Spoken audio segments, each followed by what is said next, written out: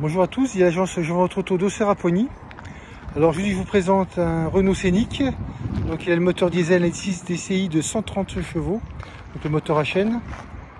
Et c'est la finition Bose. c'est un véhicule qui est en bel état.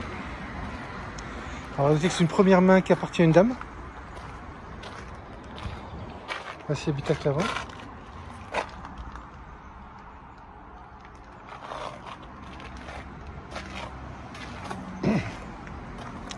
Alors notez que c'est aussi un véhicule non fumeur.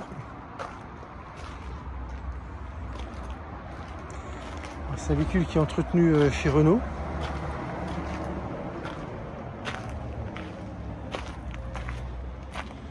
Voici l'habitacle arrière. Alors, il est de septembre 2016 avec 189 900 km et son prix est de 6 890 euros. Vous pourrez retrouver toutes les infos sur le site www.jevends.com agence d'Auxerre ou directement dans votre agence d'Auxerre à Poigny.